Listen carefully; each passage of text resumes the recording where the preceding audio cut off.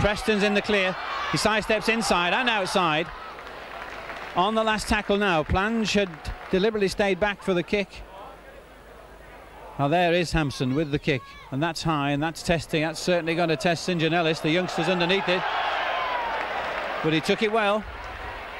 And sidesteps past Lydon and Bell, but it's Hampson as well who misses him, and he's still going.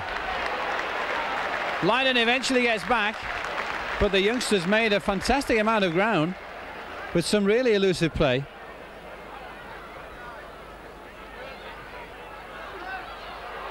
Well, that almost looked a forward pass there as Plange comes inside, and Plange is going to score.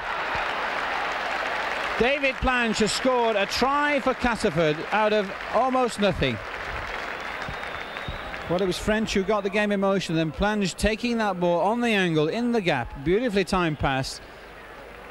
And he had the pace and strength to go inside the cover there and score under the post for Castleford's first try. A fairly straightforward kick then for Steadman, and that is two points. So the gap, just the two points, as Wigan lead 8 6 after 23 minutes play.